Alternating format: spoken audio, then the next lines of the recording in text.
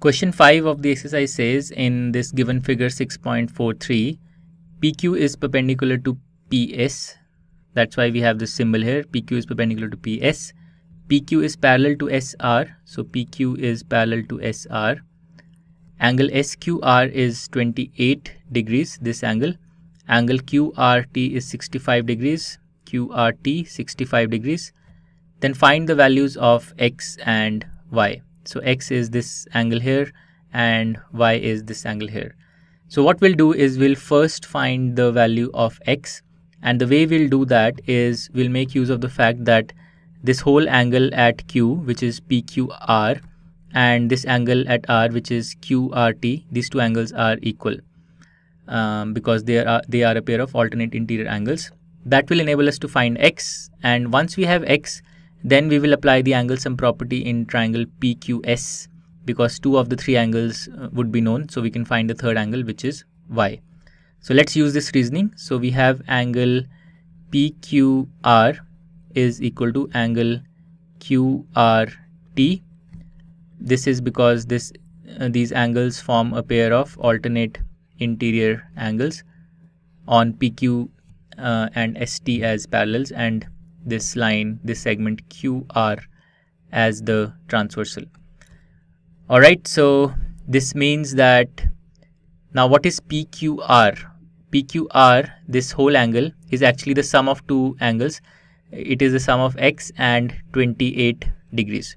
So PQR can be written as x plus 28 degrees and this is equal to QRT which we know to be 65 degrees.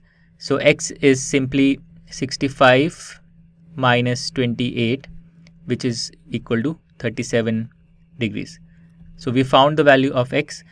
Now let's apply um, in triangle PQS. In triangle PQS, let me highlight it for you. PQ and S. So this is the triangle that we are considering now. We, we will apply the angle sum property in this triangle. Um, so apply angle sum property.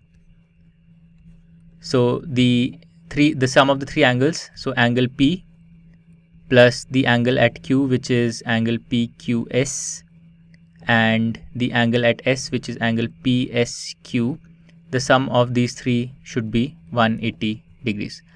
Now angle P this angle is 90 degrees so 90 plus angle PQS is this angle which is x which is we have found as 37 degrees and angle PSQ is actually write this as y because angle PSQ is y and this is equal to 180 degrees. So 90 plus 37 is uh, 127 so y is equal to 180 minus 127 and this is equal to 53 degrees. So the answer to question 5 is that the value of x is 37 degrees and the value of y is 53 degrees. And that solves question 5.